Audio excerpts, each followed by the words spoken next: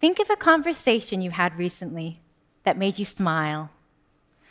A really good conversation where you felt heard and understood. What if every conversation was like that?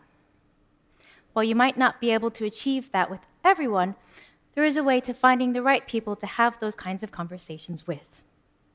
And it's so important to surround yourself with those people when it comes to collaborating, particularly in music. What is a conversation? Well, playing music is a way of communicating with people. As a fiddle player, I like going to traditional Irish sessions. And when I go, I always listen first to what other people are playing, and then I'll join in. Or I might lead with a set of tunes, and other people will join in with what I'm playing. And I think it's a really respectful way of interacting with people. And by doing the same thing when talking to people, it can lead to much more engaging conversations.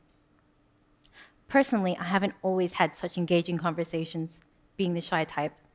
But then I learned a couple of foreign languages, and I found that I was much more easily able to relate to people. When I'm speaking Spanish or Russian, I'm much more rational than I am emotional. And I realized I could do the same when I'm speaking English. So, with that knowledge, as well as my experience in communication through music, I've become the authentic person I am today. What I want to talk to you about today is how to collaborate with others. My experience is in music, but it can be applied to many other disciplines. Throughout the years, I've played in quite a few different folk bands. One in particular was a steampunk ceilidh band. The music was very much in the Celtic fusion genre, and I really wanted to combine Irish fiddle tunes with modern dance music. The leader of that band was very keen to work with me, and he had the, all the equipment, so I thought, well, this is going to be great. So I recorded a few tunes, told him my ideas, he told me what he thought, and I thought, well, that sounds good. So he thought, okay, let me take that away and um, come up with something. Well, what he came up with was a little bit disappointing.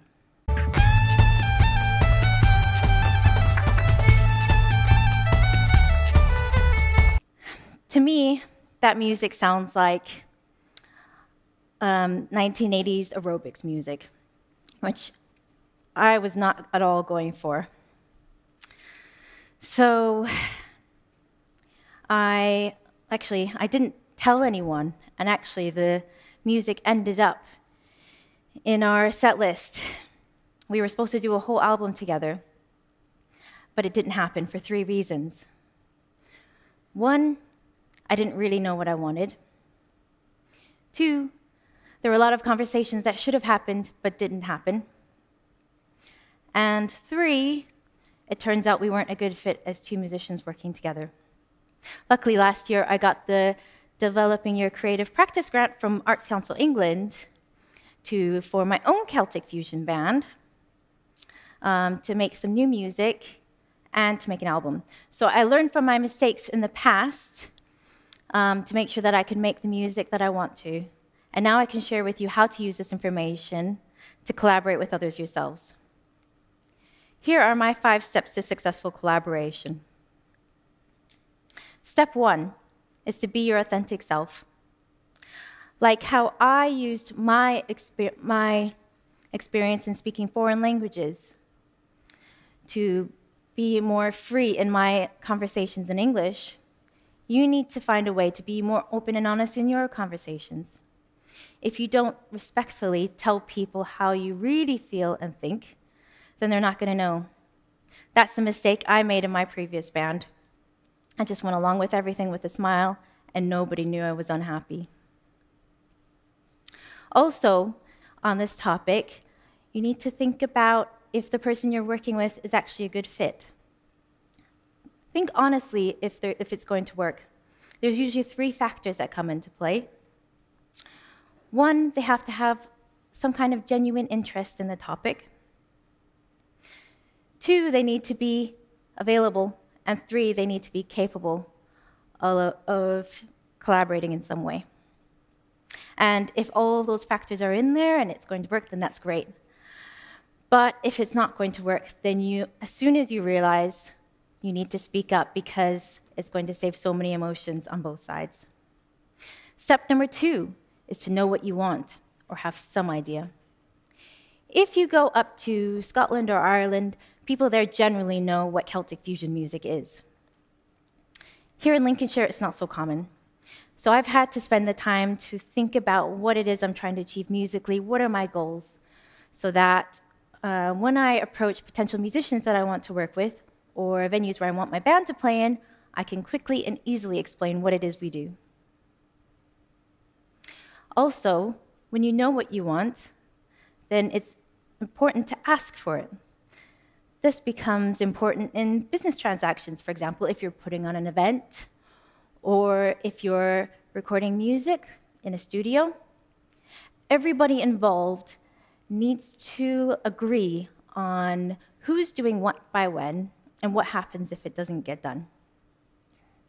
And it's important to get everything in writing, even if it's just an informal text or email.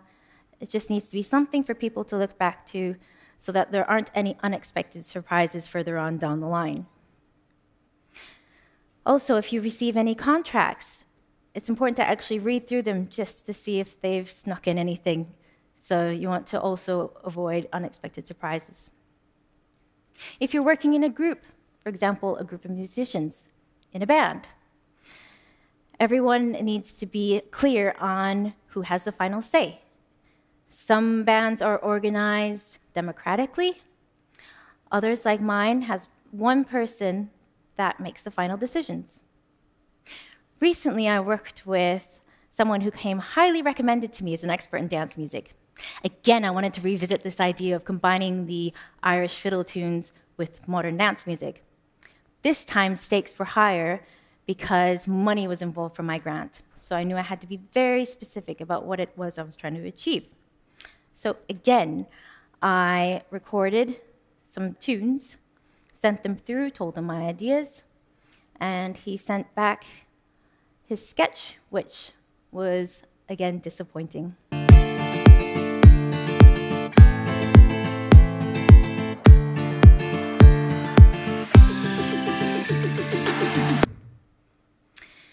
So I thought, how am I going to explain this to him? I spent four days deliberating finally, I came back to him and I said, Well, it sounds nice. It's not actually what I want. Can we rework this? I want something to sound, I want it to sound a bit more ravey, like you're standing in a nightclub.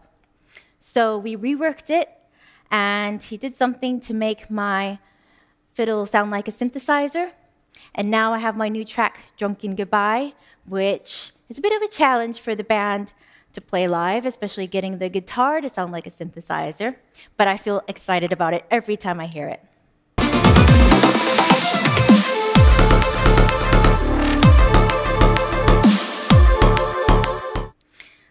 The third step is to be curious.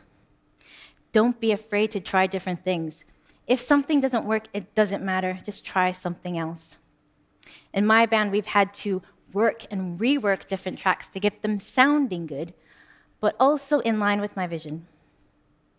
Curiosity also applies to when you're looking for people to work with.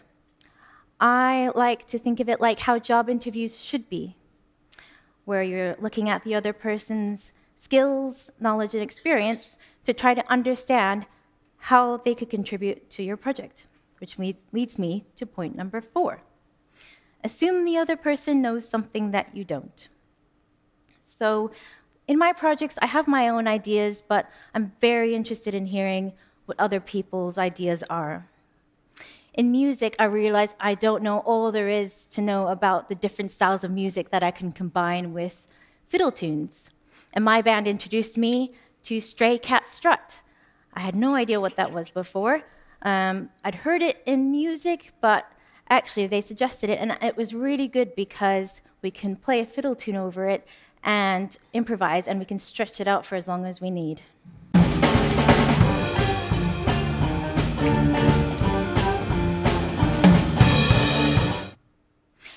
Also, if you're working with an expert and it's your project, you have to be careful not to give away all of the creative tasks to the other person because you might end up with something you're not happy with.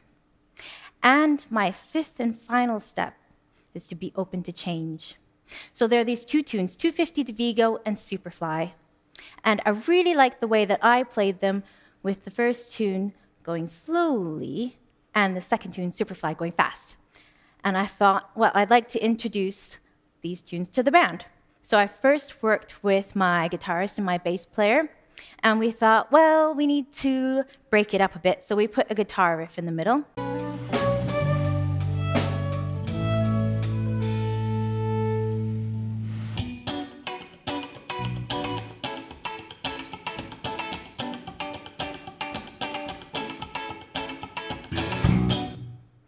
That guitar riff continues on underneath the second tune for a while. But in order for that to work, we had to slow down the second tune a bit, which I was a little bit resistant to at first, but I thought, well, that sounds cool, so let's go with it. Then we brought in the drummer, and he thought we should speed up the first tune. And I was really resistant to that at first. But I thought, okay, okay, no, I've got to try it. So eventually I said, okay, let's try it. And when we did, actually, I liked the way that he played it. And I'm so glad that I stopped myself from being so resistant because now we've got a track that everyone's contributed to and we can all be really proud of. So, when you have the right conversations with the right people, you're on your way to successful collaborations. When you combine all of these elements of being authentic, knowing what you want, being curious, assuming the other person knows something that you don't, and being open to change, then it can make a path for others involved in your project to feel more like they've been heard and understood and like they've accomplished something. So, this is the way to achieve your goals through collaboration. Thank you.